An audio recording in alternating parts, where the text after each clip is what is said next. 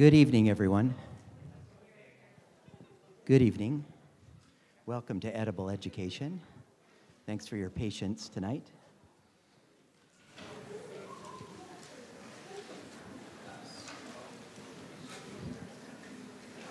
I thought I'd start with a view of a different, let's see. Pooja, this is not working now. I'm going to need manual slide advancement. I thought I'd start with a picture of a different idea garden today. Try it now.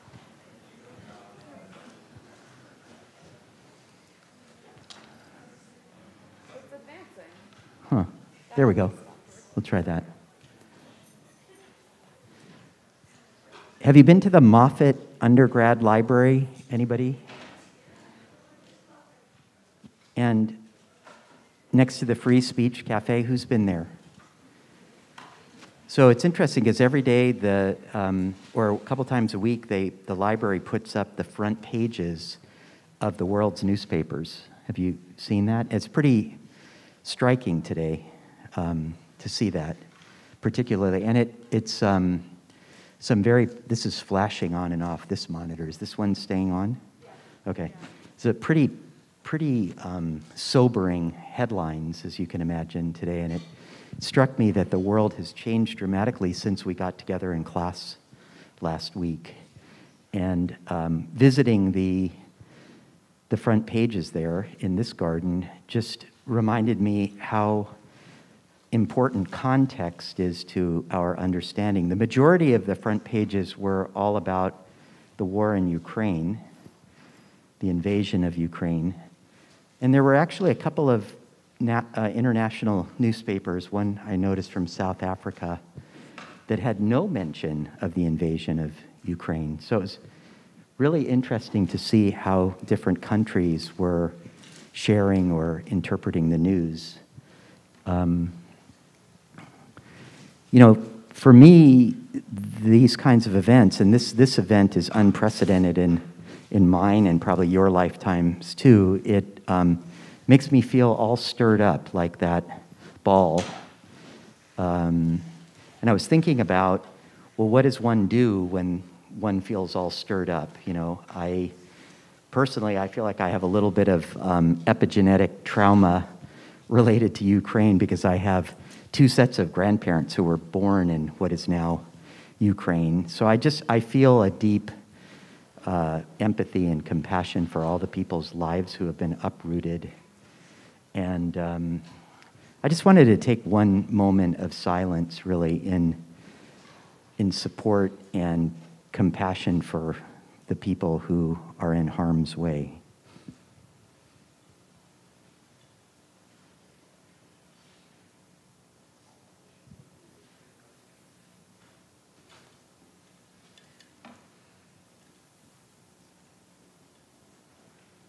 So, what do you do when you're all stirred up?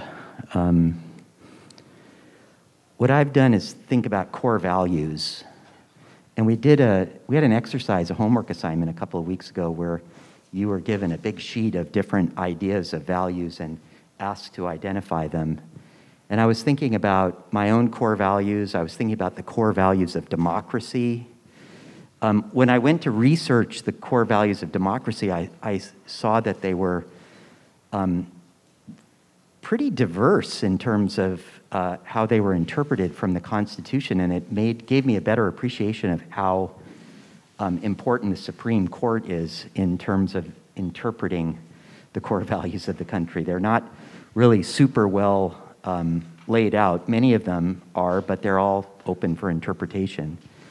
Um, I also started thinking about Raj Patel's core values. He didn't express them or articulate them exactly as core values, but they came through in his talk. And he was so potent and powerful, I thought it would make sense to just share with you what I heard and saw. The first of his core values was solidarity. He was certainly in solidarity with underrepresented people and people who had been excluded from our traditional systems. He was very sensitive about um, the West's sort of natural tendency toward appropriation, and he warned us about that. He also talked about accountability. He loved being accountable, held accountable by these groups with whom he was studying or researching or making films about. He also described, you know, his life. He said, "I'm always hustling," and um, I interpret that as kind of creative tenacity. He wasn't confined to a specific job or role. You know, he told us about his appointment at University of Texas, but that it wasn't full time and he was sort of part in and part out, and it gave him this creative freedom to pursue this uh, personal agenda of personal expression. He also expressed as a core value collaboration. You know, he talk, talked about his book Inflamed that he co created with his co author, the, the doctor from UCSF. And he also expressed the value of collectivism. Remember, I asked him, What is your advice for everyone here in the auditorium? And he basically said, Don't go it alone, find the others. And so I thought that was very um, useful in this moment of turmoil and um, discombobulation. I also just wanted to show, share briefly with you that core values can often be used to organize a group of people around a common mission. And a couple of years ago, the dean at the School of Business here, Rich Lyons, undertook a collective process of trying to articulate what the values or the defining principles were that brought Haas together as a community and also defined Haas perhaps distinctly from other business schools. And so these four defining values about um, questioning the status quo, being students always, um, I'm got to look up here again, I'm sorry, being beyond yourself and having confidence without attitude are the key defining principles of the Haas School.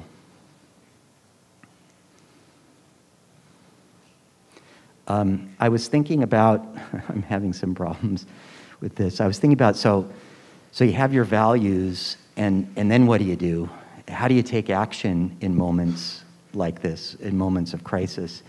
And I was lucky enough to come across this news clip that shows Jose Andres, who many of you know from World Central Kitchen. He was one of our guests two semesters ago. He spent the whole evening with us um, he's a remarkable person and um, a real fearless leader. And he, uh, I'll send you the link to this clip tomorrow. I don't have time to show it to you tonight, but um, he's in Poland uh, serving food to the refugees who are streaming across the border.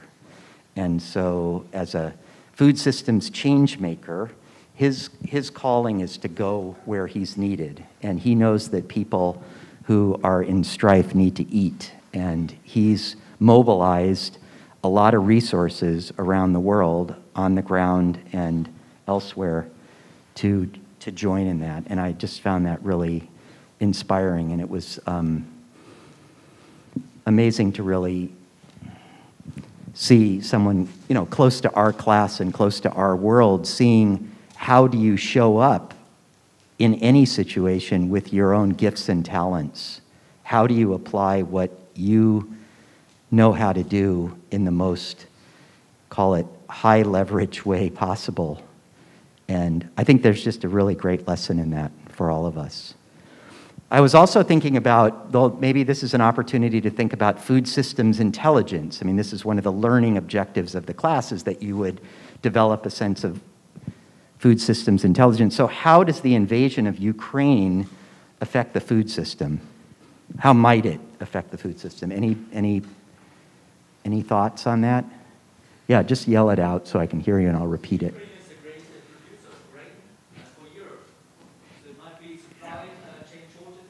Right, Ukraine is a great source of grain for a lot of Europe. So the trade of that commodity will be interrupted for sure.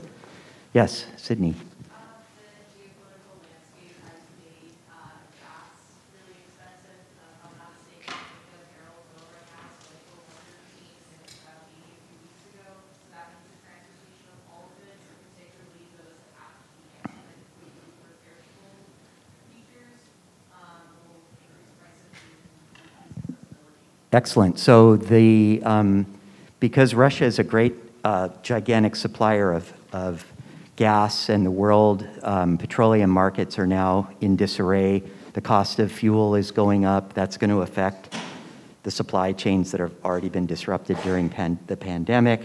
Let me show you this picture. What do you think this? What do you think this says about the food system? This looks like a pastoral little farm, doesn't it? He, this is a fertilizer plant. And fertilizer is made from natural gas. And natural gas is one of the greatest exports of Russia. So um, now that the world community is cutting off trade and interaction with Russia, the supply of natural gas is going to be interrupted. Germany announced today that they are going to accelerate their climate change goals up to 2030. So this is causing nations that have been dependent on these resources to really change their global energy strategies. But um, a lot of Southeast Asia and other parts of the world are highly dependent on the fertilizers that come from the natural gas that come from Russia. So the impacts on growing uh, food could be um, dramatically impacted. So it's just a, you know, again, a way of exercising our, our systems thinking to better understand the, the geopolitical ramifications. Um, you all did fantastic on this last assignment, which was to try to assess the carbon impact of your favorite meal. And we just wanted to do a quick shout out to um, Derek, Roe, Sydney, Rikako, and Hannah for doing really outstanding work. I want to thank you for that. Um, tonight, we're also going to take the last 10, 15 minutes of class to do the midterm evaluation, which our um, student uh, liaisons will facilitate. But you're in for a real treat tonight because um, our special guest speaker tonight is, um, I think, one of the most inspiring change makers I've ever met. She happens to have a, a, a root right here on campus, so she has influence at the education and student level, but probably more um, notably, she is a national figure in organizing for the equity and um, rightful livelihoods of those people in the food system who are so poorly paid. I think Raj told us last night that seven of the 10 lowest paying jobs in the United States are associated with the food and agricultural sector. So it's um, a great honor and pleasure to welcome back to Edible Education Saru Jayaraman.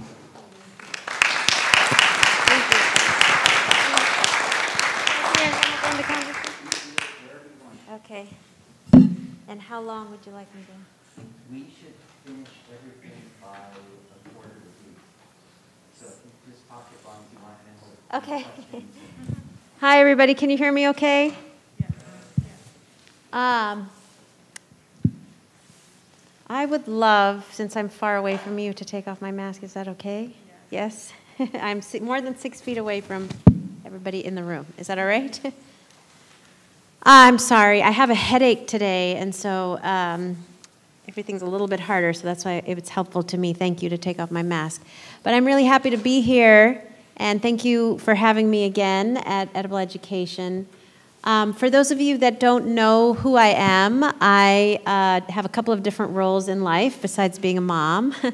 I uh, lead a center here at UC Berkeley called the Food Labor Research Center, and I teach a class called Social Movements and Organizing and Public Policy. But my role in life that I'm best known for is that I've been leading and organizing various organizations across the country to fight to raise wages and working conditions for restaurant workers and other food workers over the last 20 years. And a lot of my work started on 9 11 when I don't know how old many of you were, but I was uh, a recent graduate of law school at the time when 9 11 happened, had recently graduated from law school and graduate school. And I was in New York City and 9 11 happened, and there was a restaurant at the top of the World Trade Center, Tower 1, called Windows on the World. It was on the 107th and 108th floor of Tower 1 of the World Trade Center. And on that morning, 73 workers died in the restaurant. They either jumped to their deaths from the 107th, 108th floor, or they were evaporated inside the restaurant because the plane actually hit below them and the heat rose so quickly that they were basically incinerated pretty quickly. Uh, most of the workers, uh, you know, which is very um, uh, common for the restaurant industry in New York and LA and the Bay Area, most of the workers that were there were immigrants from all over the world preparing for the day's meals in the restaurant. Many of them were undocumented. And uh, a lot of them had families that had no way to even know that they had passed, no way to reconnect with the bodies, if there was a body, of their loved ones. And so there was a disaster at the time, and it was eerily similar to what we've been experiencing during the pandemic. People had died, people were afraid to eat out, um, so restaurants were closing or had cl- or closed. Uh, people lost their jobs. And so, in the aftermath of the tragedy, I was asked as a young woman, young attorney, to start a relief center for restaurant workers who had lost their jobs and the families of the victims. And so we started the Relief Center. I was always an academic while being an organizer, so I, I was teaching at the time at NYU and Brooklyn College. And so I, I, always had this curiosity as we started the center and started hearing from workers, first in New York and then all over the country, about their needs and conditions. We would do surveys. We would have, we do what's called participatory research. If you don't know what that is, look it up. It's basically where you engage people that are supposed to be your subjects in actually being researchers of their peers. So we trained restaurant workers to conduct surveys of their fellow workers, first in New York, and then as we grew all over the country. And everywhere we went, in every city we went to, workers would always name as their top issue, their top priority, their top concern wages, wages, wages, wages, wages. So, my wages, dummy, it's my wages. And as an academic and as somebody who cares about what's going on with workers, I, we said, why? Why is this the case that everywhere we go, restaurant workers are talking about their wages? Well, when we looked at the government data, it made sense because prior to the pandemic, the restaurant industry reached 14 million workers. It's actually the second largest private sector employer in the United States and the number one fastest growing private sector employer in the United States. Um, 14 million workers reached 14 million workers means right before the pandemic, we reached almost one in 10 American workers working in restaurants.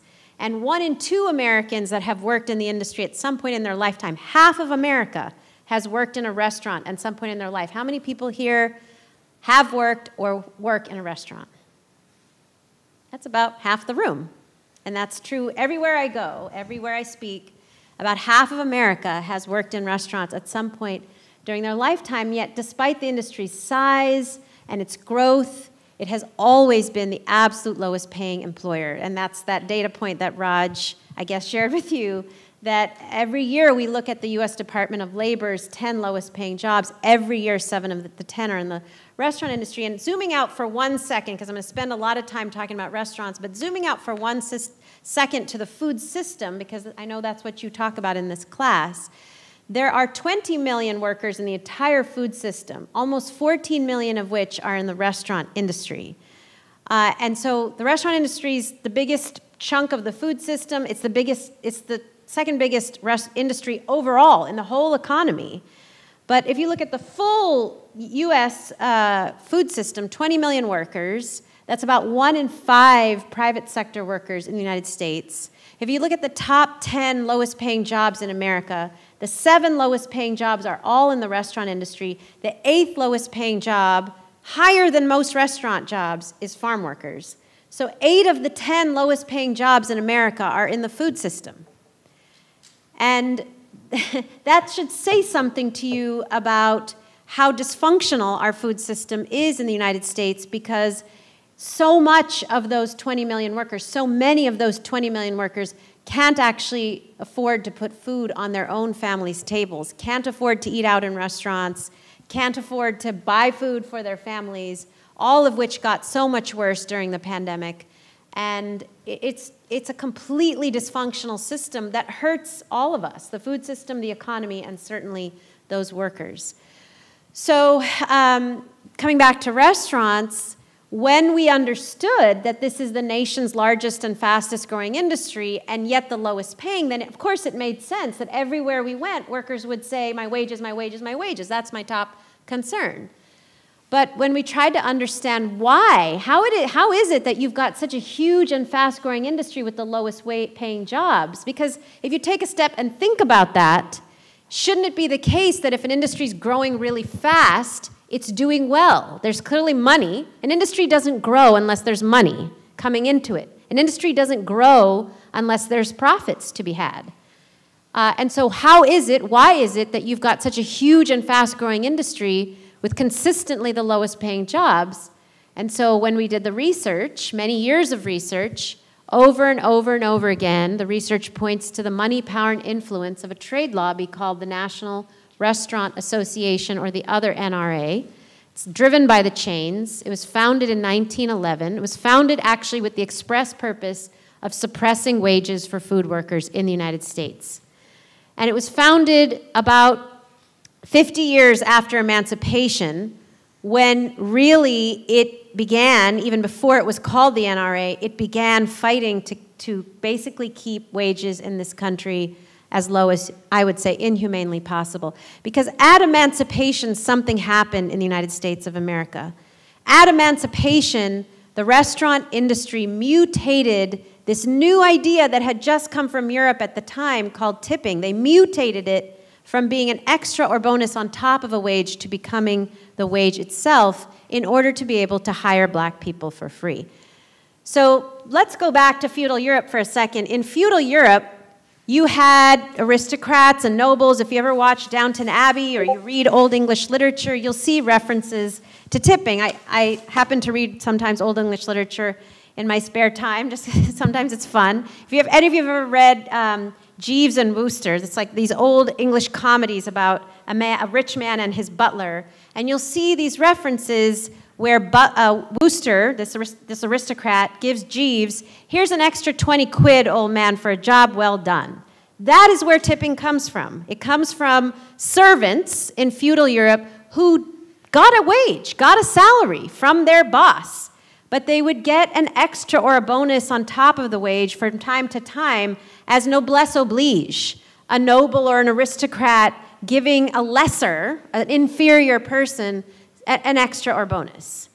Well, that idea came to the States in the 1850s and 1860s when rich Americans traveled to Europe tried to come back, tried to show off that they knew the rules of Europe, and tried to start tipping. And Americans initially resoundingly rejected tipping. There was a huge populist anti tipping movement. Six states banned tipping in the United States. They said, We are a democracy, we're not feudalism. Americans should get good service regardless of how much we can afford to tip, and we believe employers should pay workers, not customers. And that anti tipping movement spread to Europe. The labor movement picked it up in Europe and actually said, We are professionals. We don't need your largesse. We, we, we demand to be paid as the professionals that we are. And got rid of tipping in much of Europe. So, which is why when you go to Europe now, often people will feel insulted if you try to tip because they say, I'm a professional. I don't, I don't need your tip. But in the United States, we went in the exact opposite direction for, because two things happened. First, in 1850, waiters across the east coast of the United States, from Chicago east, in Chicago and Boston and New York, they went on strike. At that time in 1850, waiters were mostly men. And they got a wage from their boss. There was no tipping at the time. They got a wage from their boss, and they went on strike in multiple cities in 1850 demanding higher wages. And the restaurant industry, in response, replaced them all with women. So they said, fine, we don't want to pay you more. They replaced them with women. So women entered the industry in 1850 so that these restaurants could pay them a lesser wage. 1863, the Emancipation Proclamation was signed. At that time, the restaurant industry saw another opportunity. They said, oh, newly freed black people, we, they've never been paid, after all, for generations in the United States. We can continue to not pay them by letting them live exclusively on tips. And so they created a system in which they didn't pay the workers anything at all, and they had them live on this new thing that had just come from Europe called tipping. And in many instances, they even they charged black people for the privilege of having a position in which they'd get white people's tips. Shoe shiners were charged for the privilege of having a shoe shine station. Servers and bartenders were charged for the privilege of being able to obtain white people's tips in a restaurant the idea of tipping at that time in the United States alone, because no other country does this, no other country has this sordid history, the idea of tipping in the US thus changed from becoming an extra or bonus, as it always had been, to becoming the wage itself. And in 1938, as part of the New Deal, when everybody else got the right to the federal minimum wage for the first time, millions of black workers were excluded. Farm workers were excluded because they were mostly black. Domestic workers were excluded, they were mostly black and tipped restaurant workers, who were mostly black women at the time, were excluded and told you get a zero dollar wage as long as tips bring you to the full minimum wage. And we went from zero in 1938 to the current extraordinary federal minimum wage for tipped workers of $2.13 an hour. And in 43 states to this day, not in California, but in 43 states in the United States of America, we still have this sub minimum wage, a legacy of slavery. In about 20 states, including New Mexico, just two states over, the wage is literally two bucks an hour, $2.13. New Mexico, Texas, most of the South, it's $2.13. In, 40, in 40 state, 43 states in total, it is a sub minimum wage, and in four out of five states, it's $5 or less. So, our nation's capital of Washington, D.C., $5.05. Maryland, Virginia, $3.63. Pennsylvania, $2.83. Michigan, $3.67. Been doing this for so long, I've memorized all the wages for all the workers, but it's insane. Whatever it is, it's incredible. It's outrageous. In 2022, to have most states, and four out of five states, pay the nation's largest workforce. Is not some tiny sliver of the population I'm talking about. I told you one in 10 American workers currently works in the industry, one in two Americans has worked in the industry at some point in their lifetime. This is the nation's fastest growing industry, gets to pay $5 or less in four out of five states in the United States of America in 2022. And, you know, I think it's important to just take a moment to understand if you go back to that history of 1863, until that moment, waiters were white, they were men, and they got a wage. Basically, the wage went down to zero as women and black people entered the, the industry. It went down to zero, to nothing, as women and black people entered the industry. So, why do we have a wage today of $2? One answer is the extraordinary over influence of a trade lobby called the National Restaurant Association. The other answer is in America, we devalue women, and we especially devalue women of color.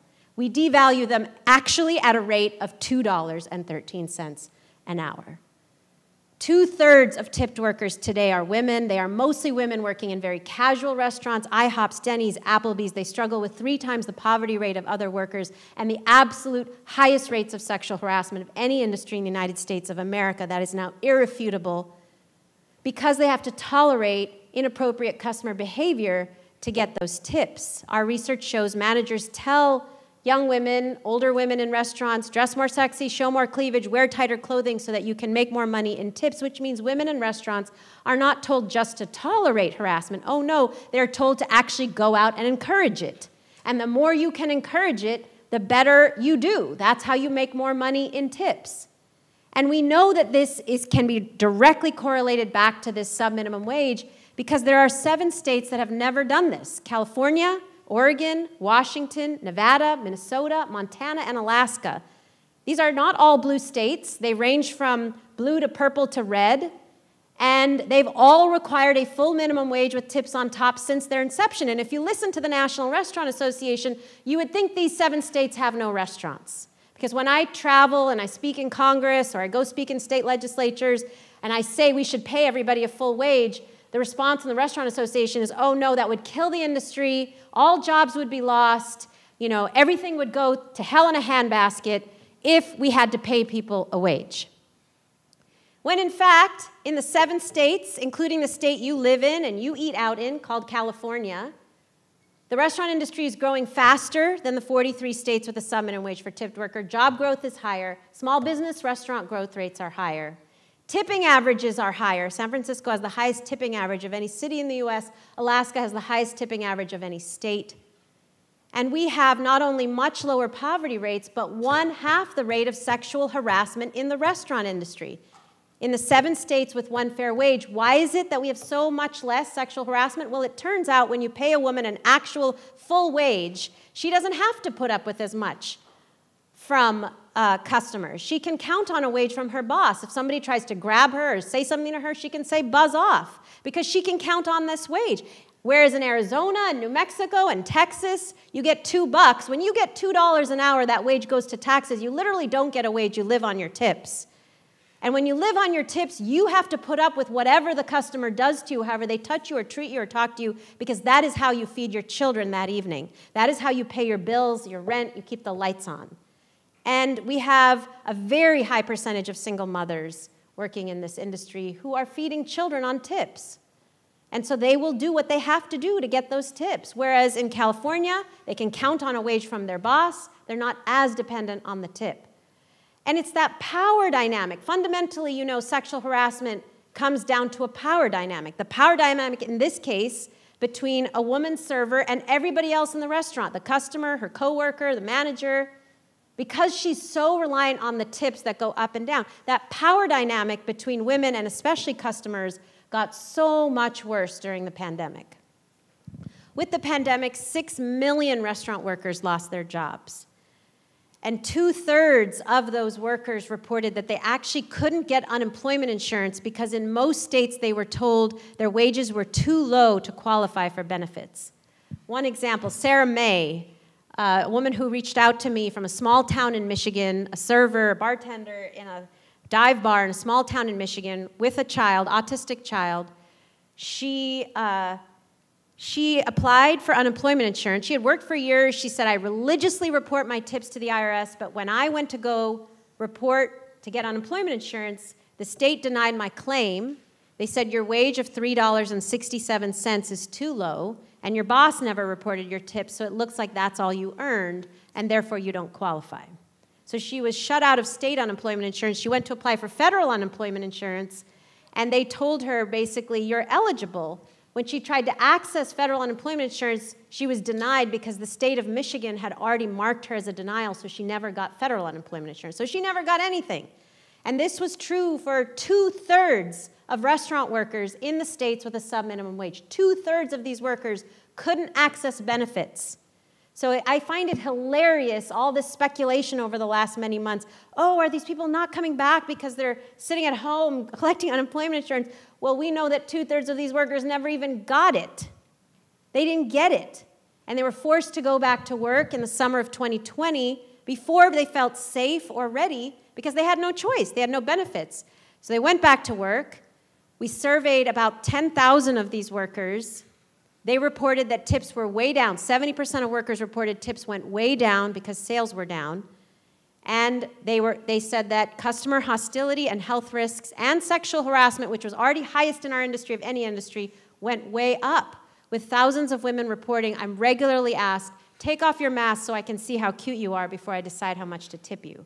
Take off your mask so I can see the pretty face of my server before I decide how much I want to tip. I had a, we have a member in Washington, D.C., who was on CNN recently, Ifoma. She said she was a bar, she's a bartender. She was a bartender in Washington, D.C. during the pandemic. Customers said, Take off your mask. I want to see your face before I decide how much to tip. She said, No. He said, Well, I guess you're not going to eat tonight.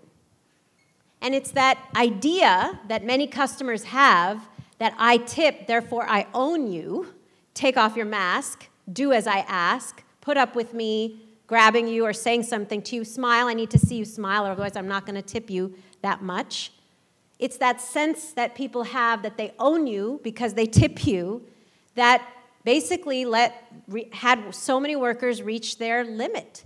And it was especially the moment, summer, fall 2020, when so many workers were asked to do so much more for so much less. Tips were way down, and now they were asked to enforce social distancing, mask rules, and COVID vaccination card rules on the very same customers from whom they had to get tips.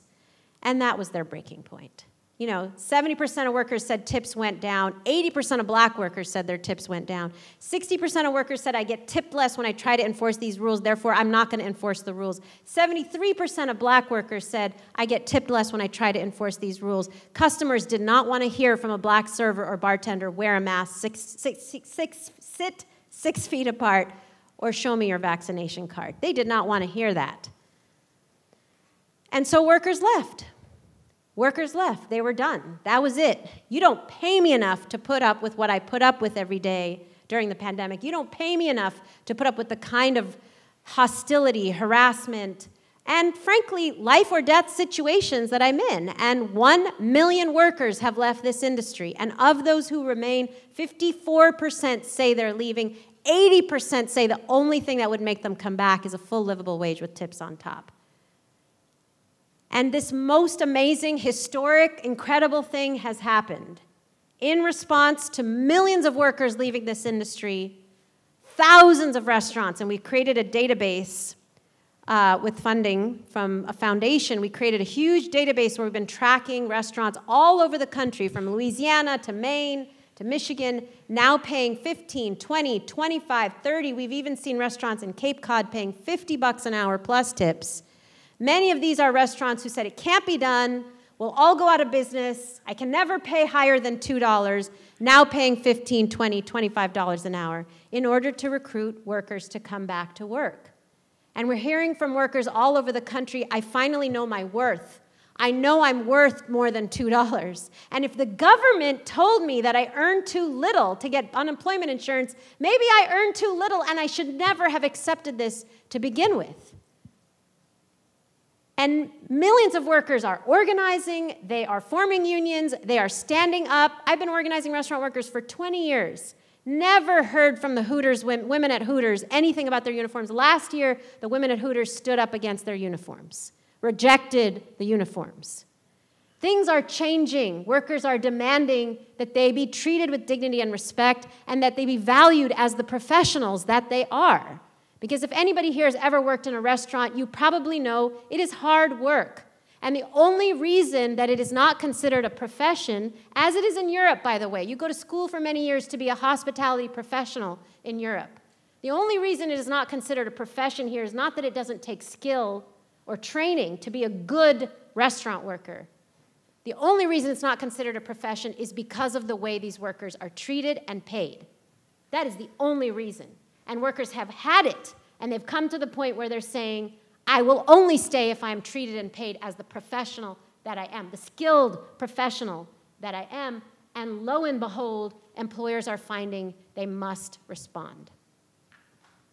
So we're in this incredibly historic moment. I've been telling reporters up and down this is not a once in a lifetime moment. This is not a once in a generation moment. This is a once in a nation's history moment because it has taken 150 years since emancipation, now almost 160 years next year, and a global pandemic for workers in the millions to say, I refuse, I refuse to live off of this legacy of slavery. I refuse to live off of tips and get paid two bucks an hour. I reject it. Take your job and shove it.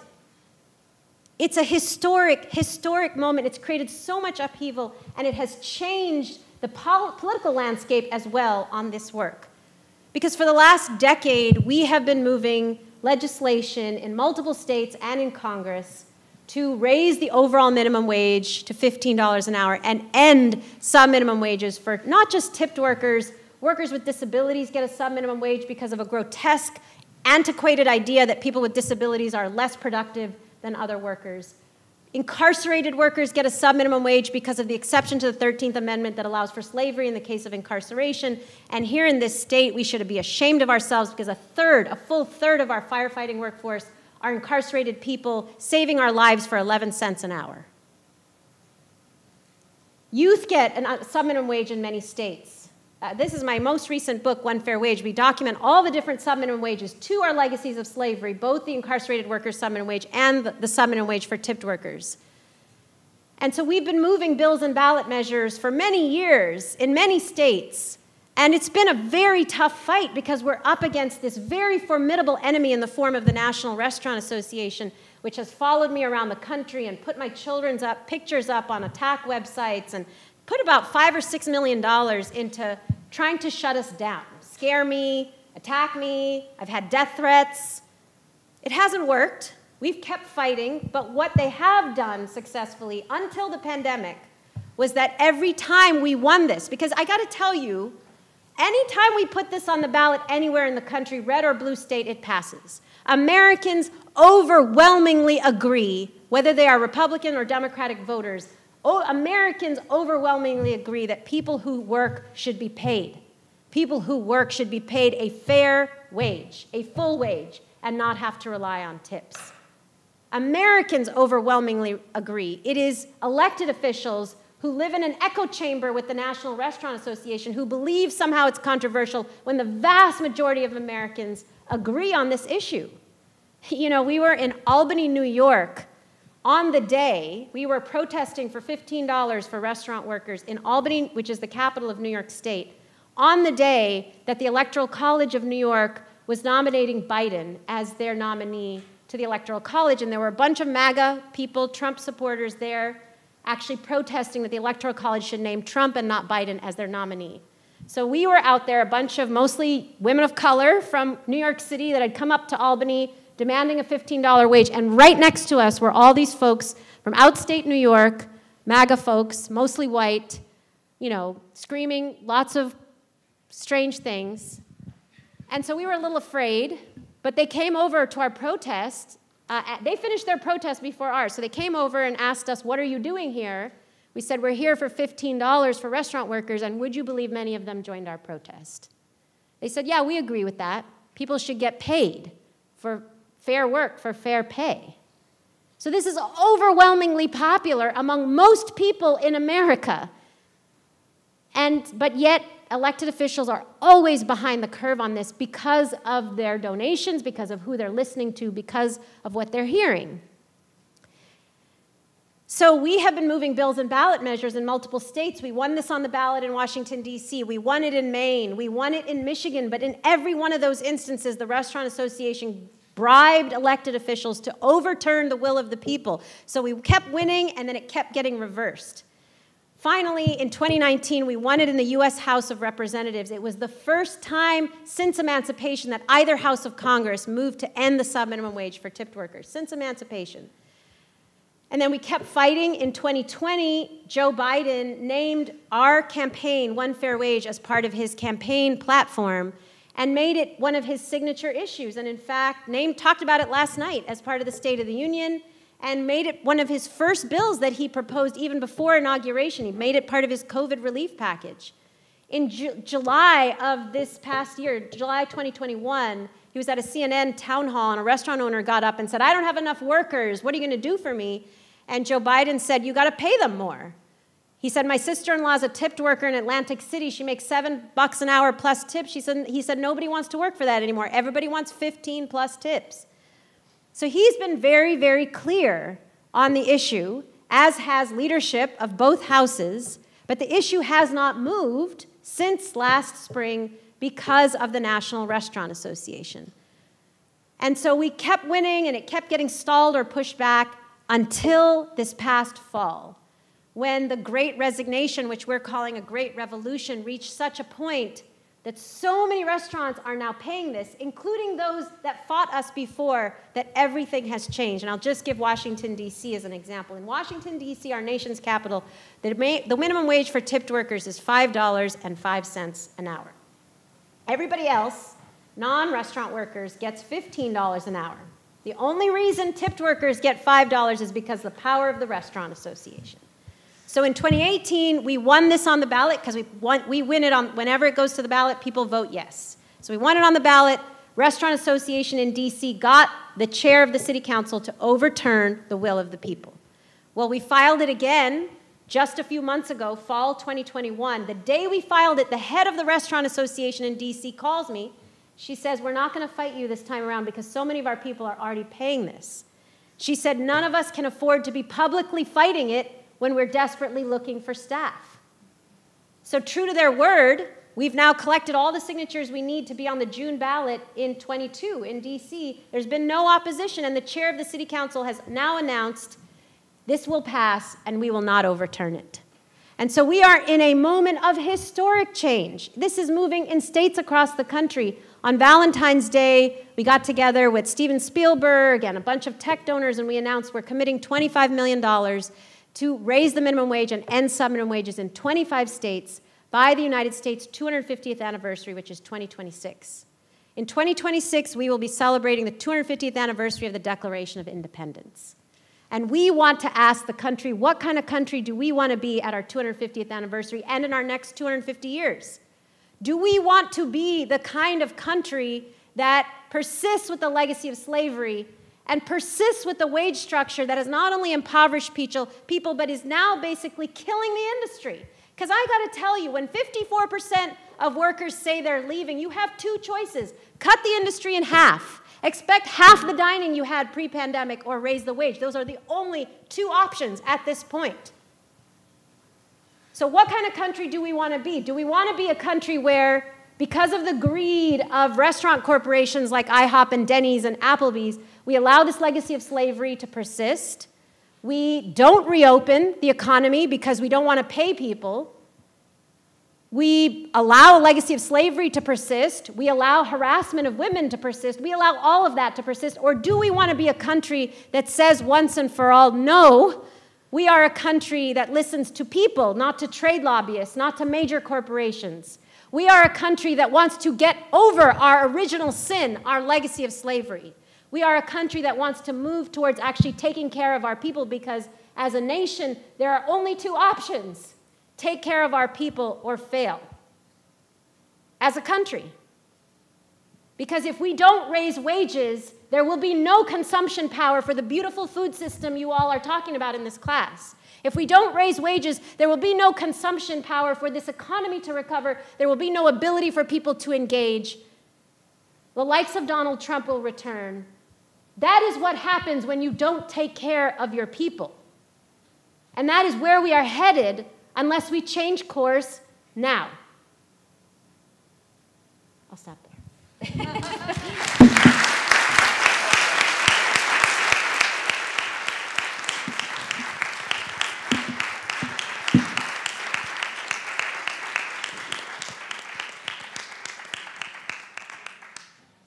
Did I do okay timing? How are you feeling? I'm better, actually. I could tell. Three Advils. Three, three Advils goes a long way. Yeah. That's great. Thank you, Saru. Is it okay? Do you want me to put it back on? It's okay. It's okay with me. You guys okay in front? Um, so I want to invite everybody to be in conversation with Saru for the next half hour. So, so if you have a question that you can phrase in a nice, tight, concise way, or do your best, please come to one of the microphones. Um, I have just so enjoyed watching the arc of all of this unfold since we started having you as a guest here, I don't know, five, six years ago. It's quite remarkable. So thank you for underlining the importance of timing. It's, it's really powerful. And this confluence of factors coming together, this could be the great silver lining of transformation that comes from this pandemic, right? And, um, you know, I was thinking, I was working on my taxes over the weekend, and, you know, you have to put your occupation, you have to, like, describe what you are. And I was just sitting there thinking, like, what, how would I describe Saru's occupation? How do you, how do you think of that? You're, you're an academic. I mean, you, you kind of specialize in this rare form of evidence based activism that informs policy and, and you've, you've found this concoction or this like recipe for, for doing this that's so, I mean, you're doing this on a national level, and you've got people all over the country who are organized with you. I mean, you, you are clearly the, you know, an unmatched spokesperson, I think. You, you articulate everything so in such a compelling way.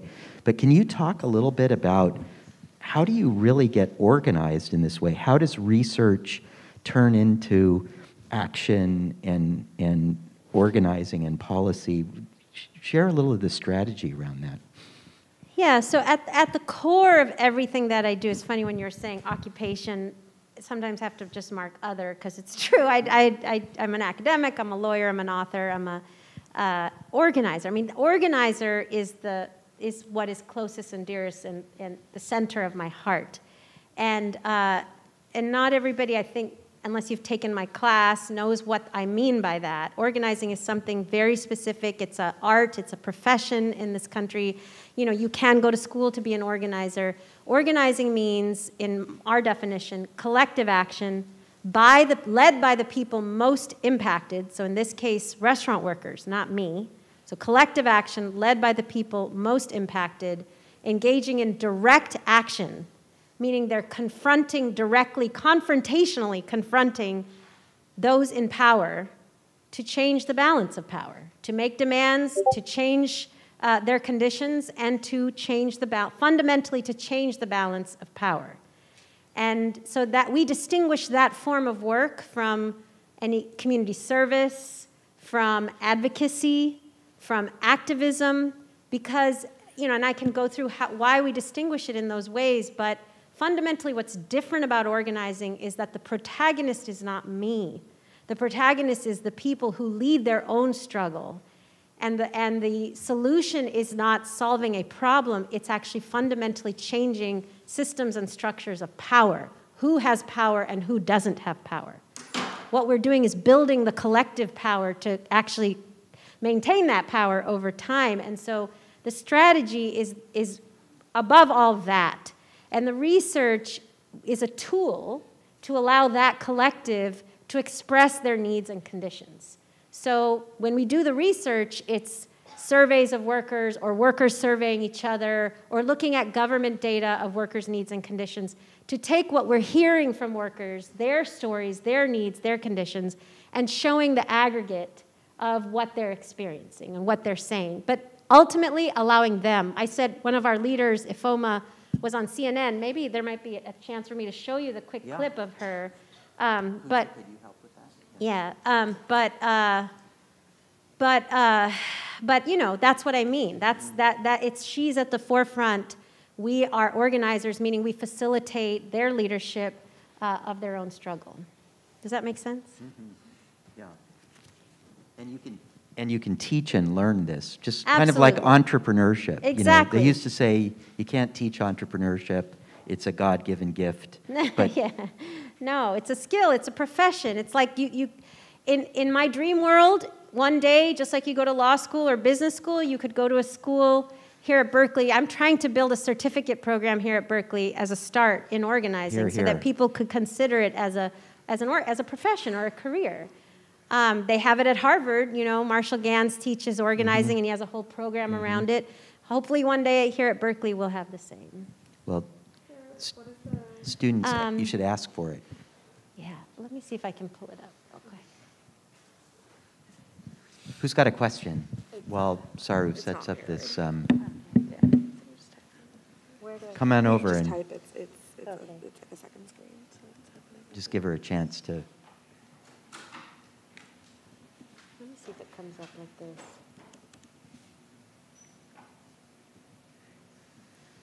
Hey, Eric in the control booth or Alan, could you turn this monitor off? Because it's just flickering. I don't know if you can turn it off, but it's just, no, you can't right now. Okay. Have you got it ready no, or uh, no? text okay, let's do a question yeah, here sure. and then we'll come back. So introduce yourself and. Sure. So my name's Aditya. I'm a freshman uh, here at Berkeley studying molecular and cell biology and business administration. Um, I've always thought of politics rather cynically. I think the only way you can convince a politician is with a checkbook, but clearly you've figured out a way to avoid that. Can you talk about like strategies that you use to like convince politicians that aren't with money? Yeah, so I mean, it depends on the elected official, right? Some elected officials can be moved by, you know, data and, uh, and by research and by reason. But I got to tell you, that is not how most change happens in this country. I, I think it's a, I, I'm going to say it's a real misunderstanding of the elite, especially the left left elite, that we can change everything through data analysis. And it just it that's not how politics works in this country. Um, some of it is is is you can create an emotional you know change. You can bring workers and employers and have them voice their needs and concerns, and elected officials will change their mind. But ultimately, the best way we know to move elected officials is power. And that means that it takes organizing of workers and employers to sit in on elected officials' offices or corner them on the street or uh, show up at their fundraisers or, um, you know, any number of ways to actually move them, right, from point A to point B, and it's generally not data. there are elected officials who maybe might already be open to the issue, and data helps educate them and they get it. But if they're stuck in a certain place because they're beholden to the National Restaurant Association, for example, the only thing that's going to move them is to, is to actually show that there are consequences for doing that.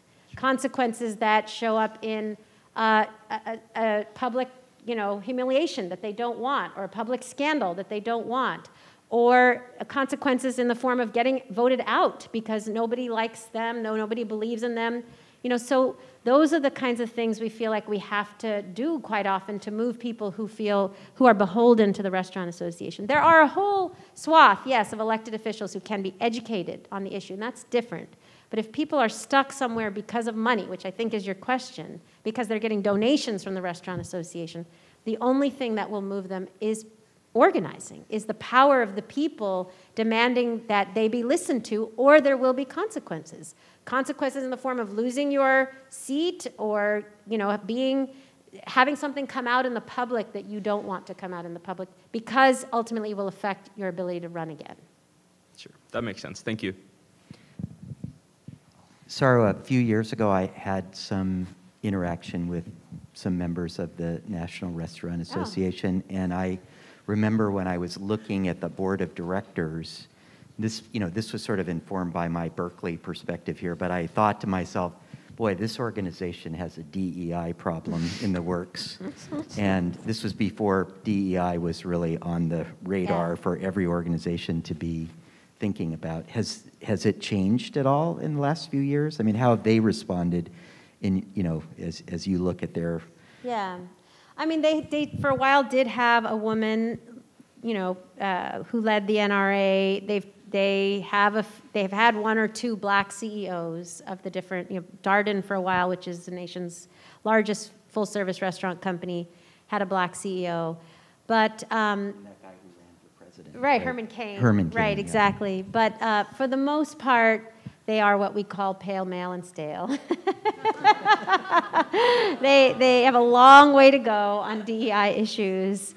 Um, they, are, uh, they are very stuck in their ways. Even now, I mean, look, there is an extraordinary new movement of amazing restaurant owners that have changed their mind on this issue, thousands of them. We have an association of 2,000 restaurant owners who actually agree with us. You've had some of them as speakers, Danny Meyer, Tom Colicchio, but also mom and pop restaurants around the country that actually, Alice, of course, who believe in livable wages and equity uh, during the pandemic, we created a program called High Road Kitchens, where we partnered with governors and mayors, and we actually gave out grants to restaurants that were willing to transition during the pandemic to a full livable wage with tips on top and go through our racial equity program to change their hiring, training, retention practices so that the restaurants could desegregate, because that's another issue we didn't get to talk about is restaurants are crazy segregated racially uh, and gender-wise.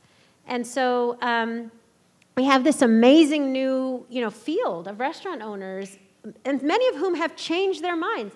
Jose Andres changed his mm-hmm. mind on this mm-hmm. issue during the pandemic. And yet the Restaurant Association is the dinosaur in the room. They're just, they're stick in the mud. Restaurant, other restaurant owners call them the party of no.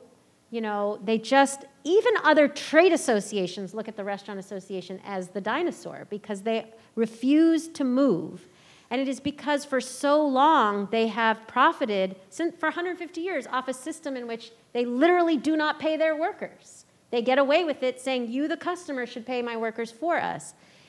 And what's so, what's so extraordinary is last April, when this was moving in Congress with a lot of momentum and steam, Newsweek published an expose. Um, David Sirota, some of you may know who David Sirota is. He helped to write the movie Don't Look Up that was on Netflix, and he's an investigative reporter. Um, David Sirota did an expose where the several CEOs and CFOs of different NRA companies were telling Congress in February 2021 there is no way we can afford to pay $15 and one fair wage, a full minimum wage with tips on top. We'll all go out of business. We'll all die. And in that same moment, these CFOs and CEOs were telling shareholders who are starting to get scared because of what these people were saying in the public, they were telling shareholders, don't worry, actually paying 15 in California has caused our companies to grow faster in California than any state in the US because consumer spending is higher when you pay people more. In fact, the, the CFO of Denny's, Robert Verostek, was caught red handed in the same moment telling Congress 15 will kill us and simultaneously telling shareholders on a shareholder call paying 15 plus tips has resulted in Denny's growing, uh, his words, outperforming the system compared to all other states because he said consumer spending is higher in California than it is in any other state. So they know it to be true. They just refuse to move because they've got they if they can pay people $2, they will. And they terrify small business employers and I'm sure many of you have heard and maybe believe the idea that raising wages would is just terrible, would kill business. That is this mantra they've had for so long. And it's just not proven true in any of the states where wages have gone up, including California. So I would imagine it, another leverage point would be eaters, right? And I know uh, One Fair Wage has experimented with tools of how to activate eaters. I'm wondering, like, if you're a, a student and you happen to have discretionary resources and you go to another state, you know, say you're going to go to, you're going to move to Texas and um, gosh, you just woke up and realized that the person that's serving you might be getting two dollars an an hour. Yeah. What do what do we do? How do we do we not go to Texas or? no, go to Texas. um, so I think first, though, it's important to say in a food systems class that I, I, feel like for so long in food systems, there's been this idea that all we have to do is shop differently and all problems will be solved. We buy the organic tomato, pat ourselves on the back, and go home. We go to the, you know, uh, sustainable restaurant, pat ourselves on the back, and go home. And for those of you that are active in the climate change space, you know that that doesn't solve the problem. And it's true on labor issues too. Simply choosing the restaurant that's doing the right thing, which is not that many of them, doesn't solve the problem. Why? Because uh, yes, con, con, you know, there can be consumer intervention and activity that does solve the problem, but it will never be enough. We can't shop our way out of structural problems because the structural problems ultimately are political and structural in nature. And so we have to do two things at the same time. We have to know that we are citizens, and I don't use that term in terms of like to distinguish undocumented versus documented. I mean citizen in the true word, uh, the true origin of the word citizens. We are members of a polity. We are all people in a country where there's a political system, and each of us has the power to not only be a consumer, but to flex our citizen muscle, as Marion Nestle has said so many times. And so the first thing to do is to communicate when you go to another state uh, you know, that things should change as a consumer. You know, communicate with legislators, communicate with senators, congress members, state legislators. I am coming to this state, but I'm horrified by the fact that the wage here is $2 an hour. It should change. And then the second thing to do is yes, look on our app, on our website. We have a website called highroadrestaurants.org where you can see, go to your geography and see restaurants that are doing the right thing and paying livable wages. But don't just go there because I just said, don't just choose the other restaurant. Eat anywhere you're going to eat. At the end of your meal, tell the manager or the owner at the restaurant, not the server, because they have no power and you could actually get them in trouble. Go talk to the manager or owner. Ask to speak to the manager or owner at the end of the meal and say, I came to eat here. I love the food. I love the service. But I want to see you actually pay a livable wage. For me to come back and eat at this restaurant, I want to see you pay a livable wage. And I, I show them the, the, uh, the, the website on your phone and say, I'd love to see you get rated well as a livable wage employer on this app. That will make me come back the next time I'm here. It's that kind of communication that we think will, especially now, especially right now, in so many thousands of restaurants in Texas, in Louisiana, are starting to pay more in order to recruit staff. This is the moment to either go to those restaurants and say, I hope you keep doing this, or to go to other restaurants and say, What's up? You're behind the times. You got to get with the program. The industry's moving in this direction. Everybody needs to be paid a livable wage. That would make me come back here. So it's those two things. It's not just to choose one place over another, it's to communicate with legislators and it's to communicate with consumers. Sometimes when I speak, I, I did a podcast yesterday actually with Roy Choi and um, Wilmer Valderrama. Some of you may know, he's an actor. Um, so we did a podcast together, and at the end of it, they were saying, Oh, you know, listening to you, Saru, we all should just go tip more. And sometimes that's the takeaway, and I beg you do not hear that as the takeaway. Yes, go tip well, tip well, tip well. Because until we're talking about really, truly livable wages in this country, people need tips on top of $15 an hour to get to something close to livable. $15 an hour is not livable in the Bay Area, which is why we actually have a ballot measure on the November ballot here in California to go to $18 an hour. But uh, it's not livable, so please do tip well, but do, please don't leave thinking, oh, that's what I'm going to do from now on. That's the thing I take away from Saru's talk is I'm going to go tip well, because in most states, when you tip, you're actually, with every tip, discounting the worker's wage. That's how it works. Basically, your tip allows the employer to pay less. So, yes, tip well, tip very well, but don't just stop there. Tell the employer, I would like to see you pay a livable wage. I see a confused why is it that your tip cuts against the wage? It's because the way the law works, if tips don't bring a worker to the full minimum wage, the employer actually supposed to pay the full minimum wage. Most workers don't know that. So every time you tip, it allows the employer to pay less than the minimum wage. Does that make sense? How about, you know, I've noticed a lot, like even when I, you know, I go to the cafe in here, and most of the restaurants now have these, you know, automated POS systems and now there's not a server anymore. There's not a service. It's self-serve. But the transaction at the counter automatically before you can, you know, give them your credit card, you have to, Tip. it defaults to, you know, 15%, 20%, 25%. Yeah. Um, what's up with that? How does that First, I want to talk this? about automation because this always comes up and people always ask it, so I'm just going to answer it. No, we're not, we're not moving to a fully automated restaurant industry. And no, automation actually hasn't killed jobs in this industry. So the Restaurant Association often says, well, if you make me raise my wage, we'll just move to automation. Hasn't happened. It hasn't happened here in California or anywhere where wages are higher.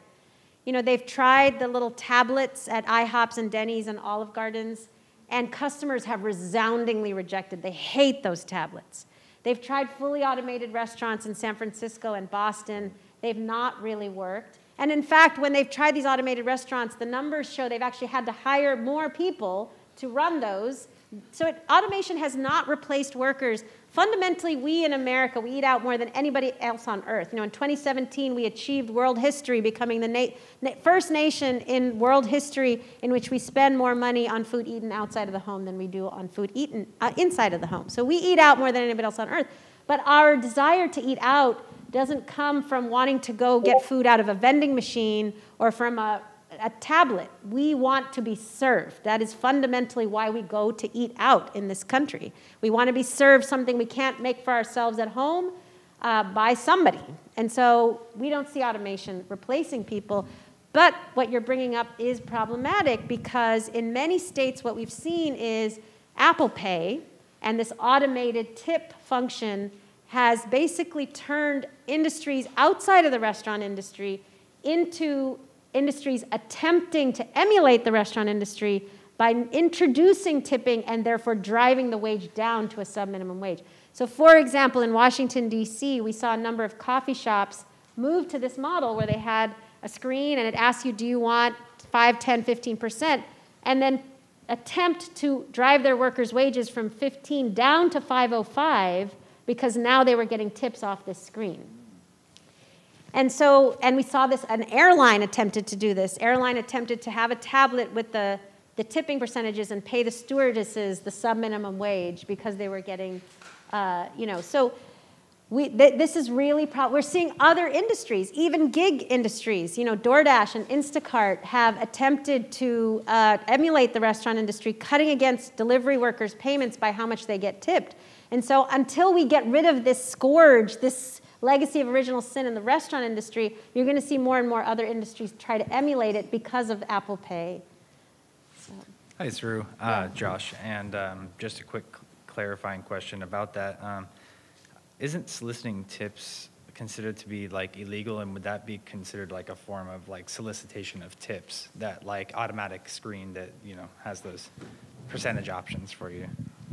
Is it illegal? No, unfortunately. Um, what do you mean? Like, I mean, it's. Oh, I, I just I just thought that like basically so, like if you're a worker or like I don't know. I mean, it might not apply in this case because it's automated, um, but like solicitation of tips is like I think supposed to be like not like, you're not supposed to solicit tips from customers or.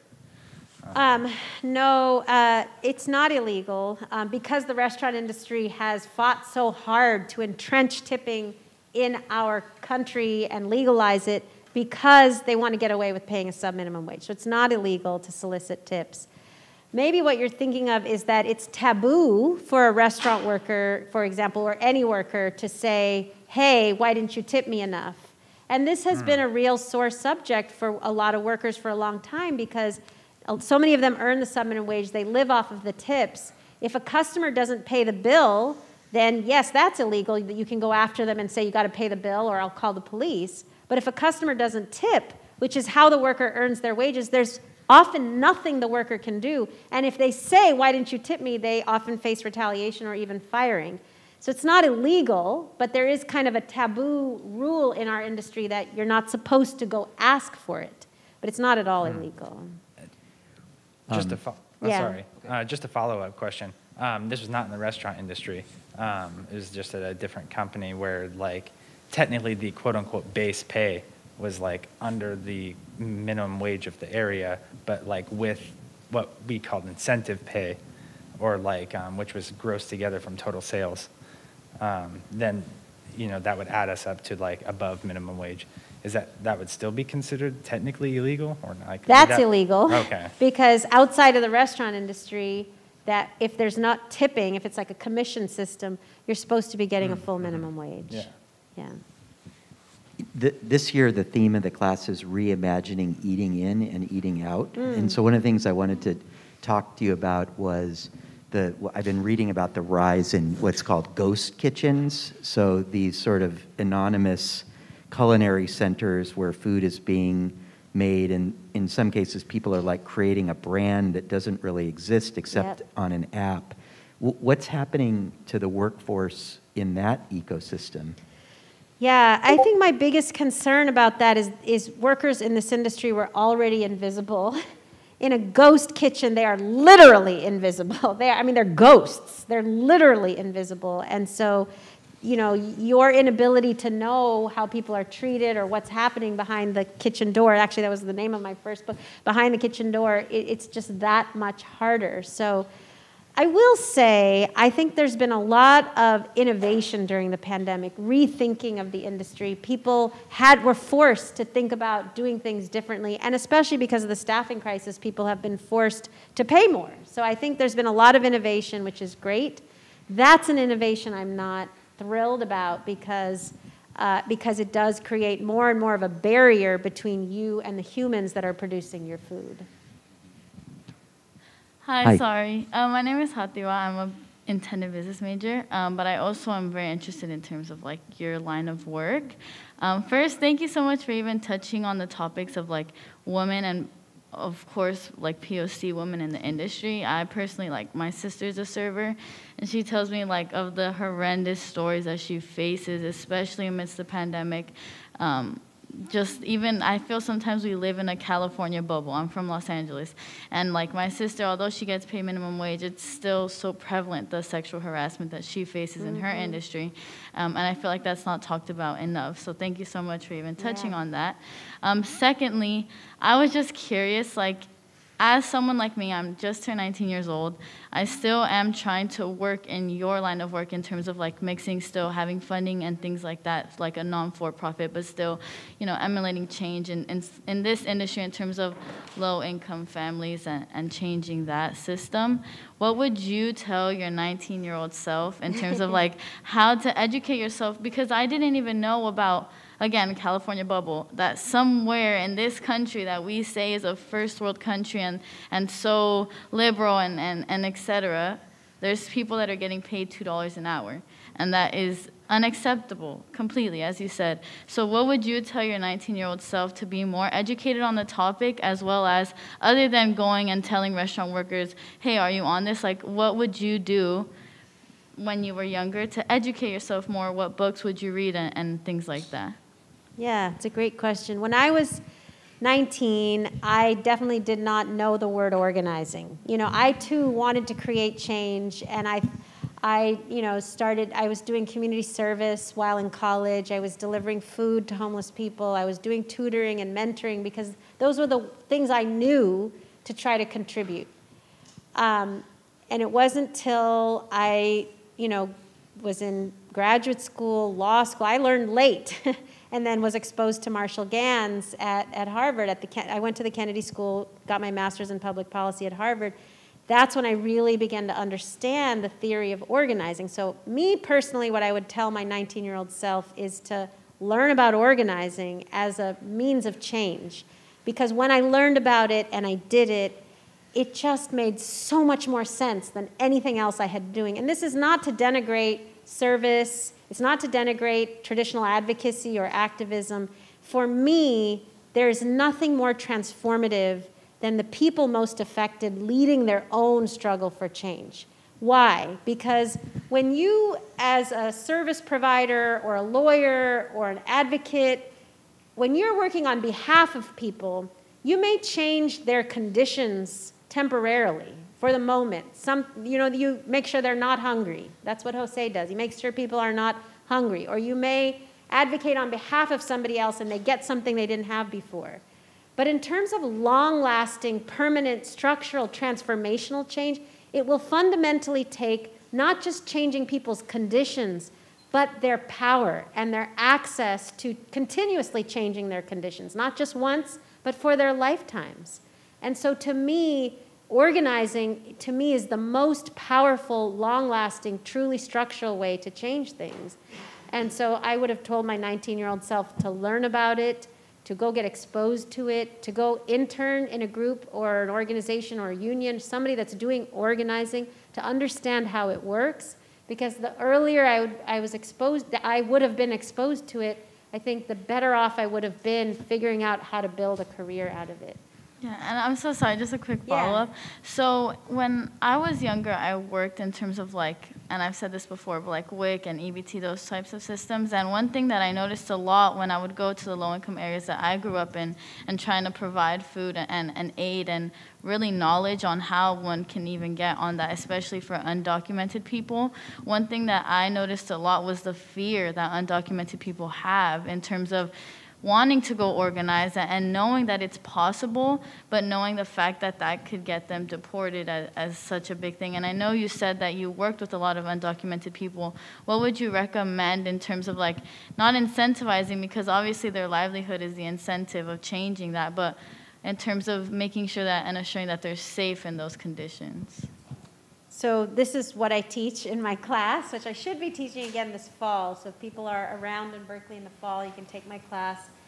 Um, but believe it or not, it's not just undocumented people who have fear.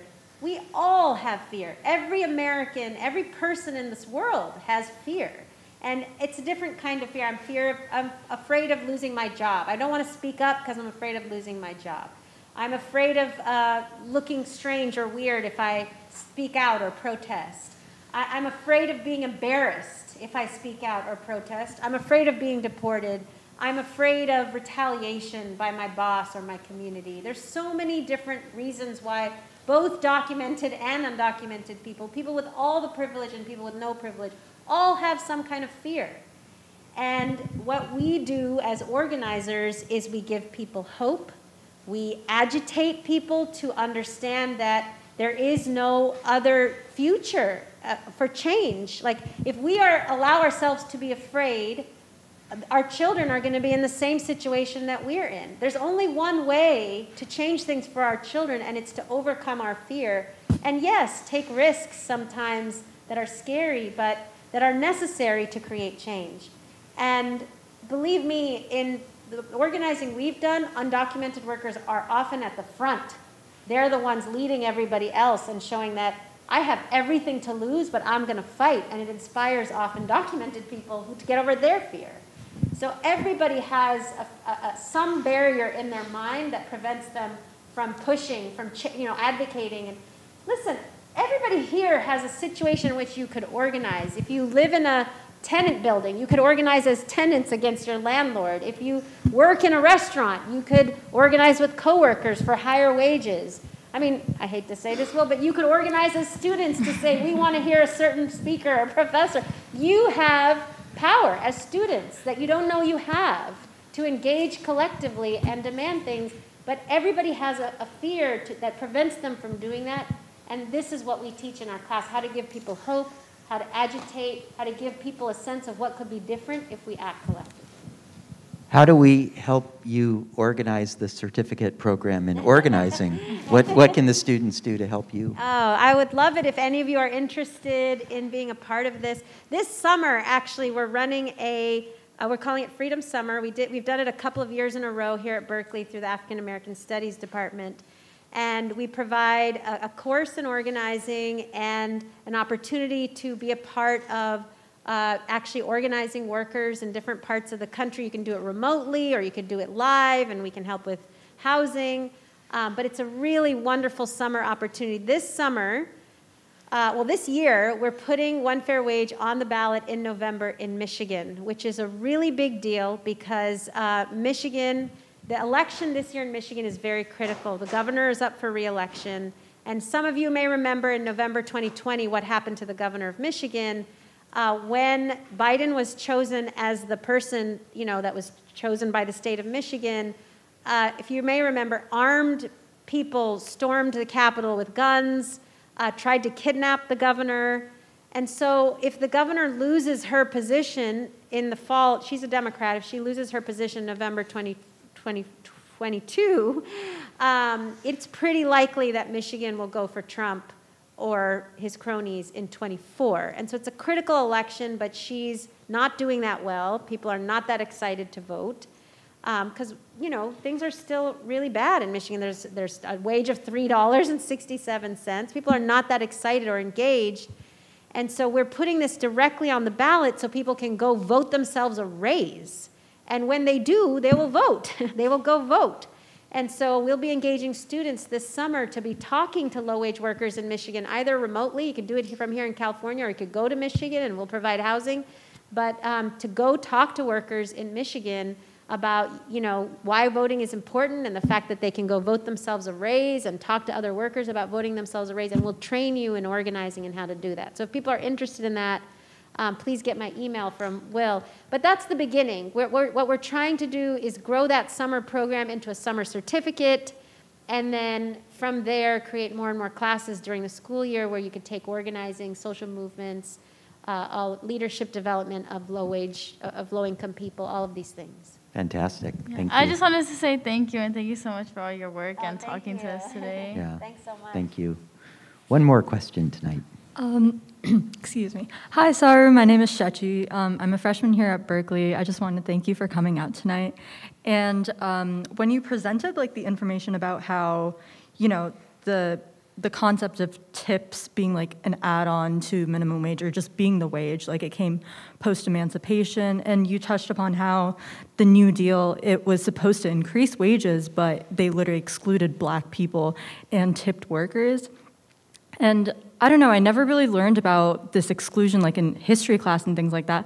And I was just curious like how come we don't learn about these things. Like how I never even knew what the National Restaurant Association was like until this lecture.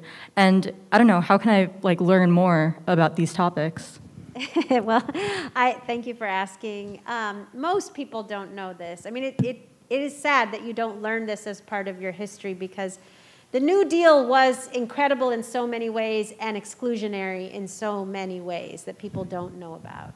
Um, I mean, we have a long history of just exclusion in, at every turn in this country. And so, you know, I've written a couple books on this. That would be a, a place to start to learn about this history. Um, I wrote a, a, Behind the Kitchen Door was one book I wrote, Forked, A New Standard for American Dining, and then my most recent book is One Fair Wage, Ending Subminimum Pay in America. So those would be places to learn.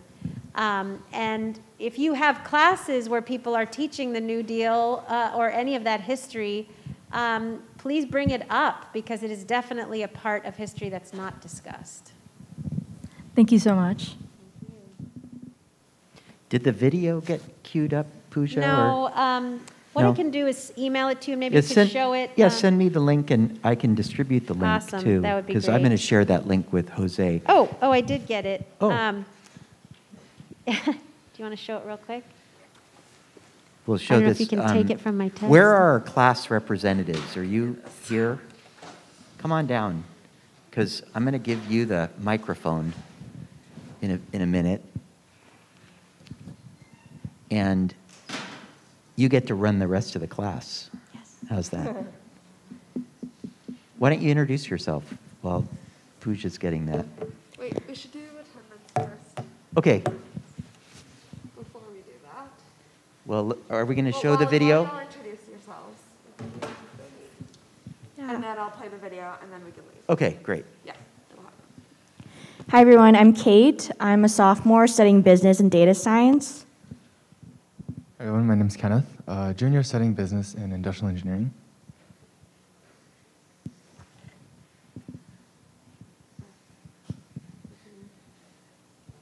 Okay, so um, we can, please, please go do the attendance piece. Um, Let me, do you want to give the instructions for the, the midterm eval? And then we'll, we'll we'll play the, the. Yeah, there's a there's gonna be a form. Um, is it on the slides? No, because. Oh yeah, yeah, there's a form. Uh, it's pretty it's pretty short. There's gonna be six questions, and then just uh, after you fill out the attendance link, just fill out the form uh, with your feedback, and probably take the next uh, 10 minutes to do the form. Uh, yeah, we'll take, well, I'll play the clip and then we'll have until eight. so- Here's what we're going to do. So we're doing attendance. We're going to show the clip. Yep. We're going to let Saru finish. We're going to give her a standing ovation. And then you get to do the class evaluation. How's that sound? Okay? Good. Let's see the clip. Can we get the sound? Yeah, I mean, to, so Ifoma um, is one of our leaders. She often is saying around the country, Congress, everywhere, what she said here, which is that we we now know our self worth. We know what we're worth. We're not worth two dollars or five dollars in DC. We're worth at least fifteen dollars an hour plus tips. Uh, and it, it just reminds me of um, a couple of years ago, I may have shared this in an earlier class, but there was a New York Times piece a couple of years ago on uh, the Copenhagen airports. Um, you know, there the wage is $21 an hour for restaurant workers. It, and there are some tips. If there are, there are tips, they are on top of $21 an hour. But the, the New York Times reporter asked the man who runs all the restaurants in the Copenhagen airport, why do you pay this? And he said, well, if we didn't pay this, then people might need to live on public assistance, and that would be the sign of a failed society. And in this country, uh, restaurant workers use $16 billion annually of public assistance, not because they want to, not because they're lazy. These are people working two and three jobs and living on public assistance.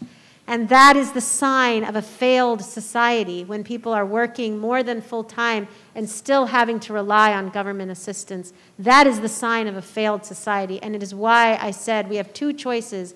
We can move forward into this really beautiful, historic, momentous moment, change is on the horizon, or we can regress and stay stagnant and say, no, we're not going to change. and fail. That is truly the only two choices that we have. So I really appreciate you all listening and, and hope to stay in touch.